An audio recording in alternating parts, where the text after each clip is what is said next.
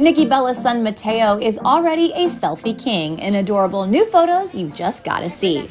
Baby Matteo is already a natural in front of the camera. Nikki takes to Instagram to share a series of selfies featuring herself and her two month old son. And from what we see in the numerous photos, Nikki's baby boy with Artem Chigvintsev is very photogenic. The Total Bella star even captions the post Selfie King and Queen. Nikki's fiance Artem, who is currently competing on Dancing with the Stars, clearly loves the series of selfies as he adds, Nicole, we have a baby model. That magnum look is everything.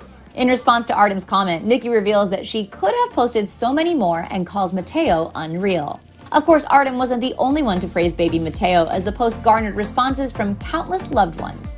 Nikki's mom comments love. Her twin sister Brie Bella leaves a series of heart eye emojis in the comments section. The retired WWE superstar and the professional dancer welcomed their baby boy into the world on July 31st, 2020.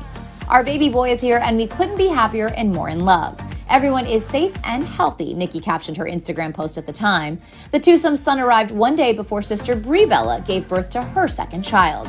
Weeks later, Nikki confirmed the name of her firstborn child.